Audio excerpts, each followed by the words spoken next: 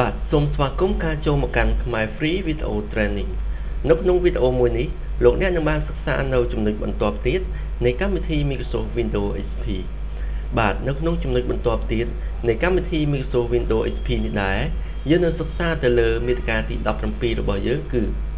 របៀបដាក់ឬក៏បិទ screen server លើផ្ទាំង desktop បាទរបៀបដាក់ឬបិទ screen server នេះមានន័យថាយើងអាចដាក់ screen server ពេលដែលយើងទុក desktop របស់យើងចោលក្នុងរយៈពេលមួយនោះ screen server របស់យើងនឹងលោតចេញជារូបភាព 3D សម្រាប់បង្ហាញនៅលើផ្ទាំង desktop របស់យើងបើសិនបើយើងដាក់តែបើសិនបើយើងមិនដាក់ទេ វានៅតែបង្ហាញផ្ទាំង desktop លក្ខណៈបែបនេះជារៀងរហូតបាទអញ្ចឹងដើម្បីដាក់ screen server បាន គឺយើងយក mouse ចុចខាងស្ដាំទៅលើ desktop បន្ទាប់មកយកពាក្យថា property បាទ មើលរូបភាពគេខាងក្រោមនេះបន្ទាប់មកទៀត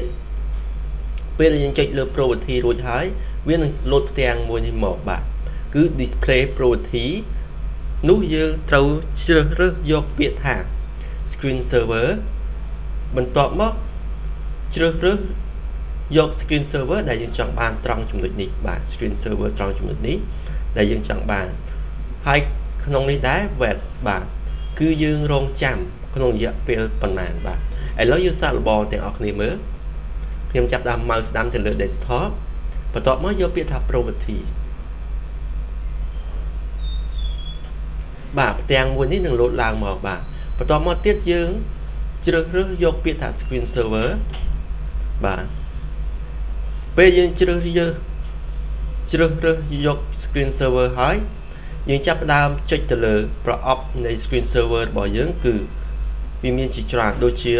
បាទ 3D flower របស់បាទគឺរូបភាពមួយនេះបាទកាលណាយើងទុកចោលក្នុងរយៈពេល1នាទី គឺវានឹងលោត 3D នេះមកបាទលក្ខណៈមានច្រើនទៀតបាទនេះលក្ខណៈ object បាទលក្ខណៈបែបនេះបាទមួយនេះបាទ OK យល់បានយើងអាចជ្រើសរើសបានបាទ Windows XP បាទចេញ Windows XP ត្រង់ចំណុចនេះបាទ OK បន្ទាប់មកយើងចុច OK ជាការស្រេចពេលដែលយើងទុក desktop របស់យើងចោលក្នុងរយៈពេល1នាទីនោះ screen server របស់យើងវានឹងលោតឡើងមកបាទឥឡូវយើងចូលទៅក្នុងចំណុចរបស់យើងបន្តទៀតគឺ មាតិកាទី18របៀបដាក់អក្សរឲ្យមានចលនាលើ screen server បាទសិក្សាទៅលើ screen server ដដែលដោយយើង mouse ស្ដាំលើ desktop យកពាក្យ property បាទបន្ទាប់មកទៀតយើងយកពាក្យ screen server ដដែលពេលដែលវា load ផ្ទាំង display property មក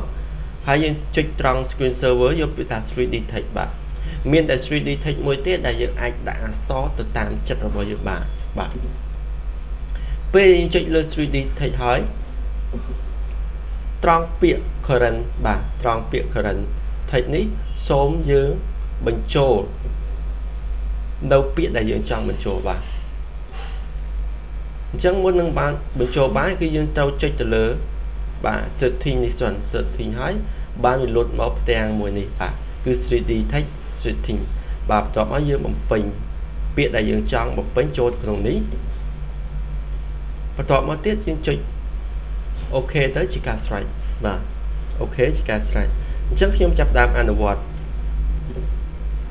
ខ្ញុំចាប់ដើម mouse ស្ដាំលើ desktop យកពាក្យថា property បន្ទាប់មកខ្ញុំជ្រើសរើសយកពាក្យថា screen server បាទត្រង់ screen server នេះដែរខ្ញុំចាប់តាមយកពាក្យថា 3D text បន្ទាប់មកខ្ញុំចុចទៅលើពាក្យថា setting បាទ ចឹងអ្វីដែលយើងត្រូវបំពេញគឺត្រង់ custom text នេះខ្ញុំអាចបំពេញខ្ញុំដាក់ឈ្មោះខ្ញុំបាទ CP បាទបន្ទាប់មកខ្ញុំ OK នោះ 3D text របស់យើងនឹងលោតចេញឈ្មោះរបស់ខ្ញុំមកបាទនេះ OK ហើយយើង OK ឬក៏ apply ហើយ OK ទៅចាំអំឡុងពេល1នាទីបាទ វានឹងលោតឡើងមកបាទយល់បាននៅរបៀបដាក់ screen server នៅក្នុងមេរៀនរបស់យើងបាទមេរៀនរបស់យើងគឺត្រូវបានបញ្ចប់ហើយយើងនឹងចូលទៅក្នុងចំណុចបន្ទាប់ទៀតនៅវីដេអូបន្ទាប់